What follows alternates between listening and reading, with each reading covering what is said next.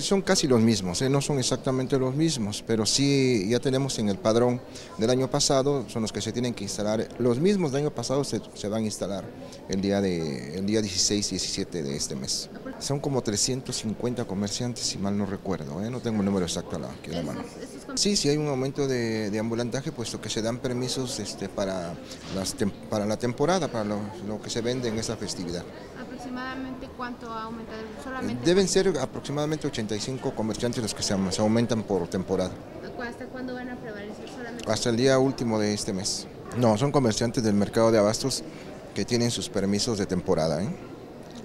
¿Qué pasa con estos? Comentaba el, el, presidente de la central de abastos que inclusive estos solamente tienen un permiso hasta las festividades, hasta que culminan las festividades. Así es, en efecto, hasta que termina la temporada de Reyes ellos tienen la, la autorización.